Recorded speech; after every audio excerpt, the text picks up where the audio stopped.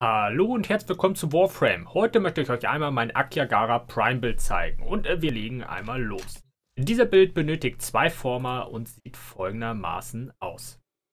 Wir haben äh, plus 220% Damage, äh, wir haben plus 60% Fire Rate, plus 60% Multishot, plus 120% Multishot, dann plus 110% Critical Damage, dann haben wir plus 60% Electricity, plus 60% Statuschance, plus 60% Toxin, plus 60% Statuschance, wodurch wir Corrosive Damage bekommen und einen Statuswert von 96,7%. Als nächstes haben wir dann plus 90% Damage und zu guter Letzt plus 153% Crit Chance. Wie ihr sehen könnt, wir hätten noch genug Kapazität frei, um den Mod, wenn ihr ihn in der Prime-Version habt, auch aufs Maximum zu bringen. Das ist äh, dementsprechend natürlich zu empfehlen. Und äh, solltet ihr die Prime Mods nicht haben, könnt ihr natürlich auch äh, die ganz normalen Standard äh, Mods nehmen. Dann habt ihr natürlich dementsprechend ein klein weniger ähm, Crit Chunks bzw. Crit ähm, Damage. Warum der Bild so ist, wie er ist, gucken wir uns an, indem wir uns die Waffe einmal ohne Mods angucken. Wir haben äh, standardmäßig eine Crit-Chance von 18% und einen Statuswert von 32.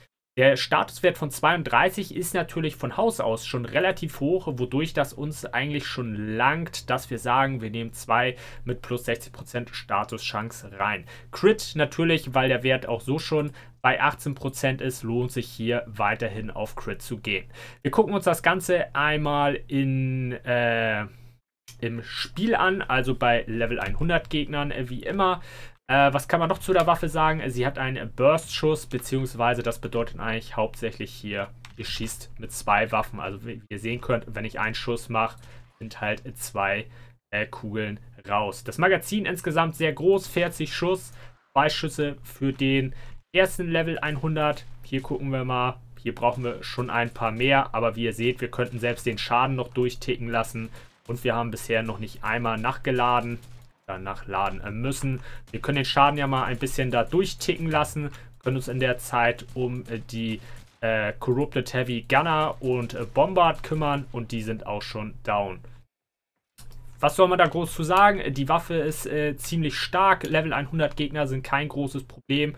Und ja, ansonsten zeige ich euch noch einmal den Bild in der Übersicht. Schreibt wie immer gerne in die Kommentare, wie euer Bild vielleicht aussieht, was ihr anders machen würdet. Und ansonsten würde ich mich natürlich wie immer über ein Like und ein Abo freuen. Und dann sehen wir uns im nächsten Video wieder. Also bis dann erstmal. Tschüss.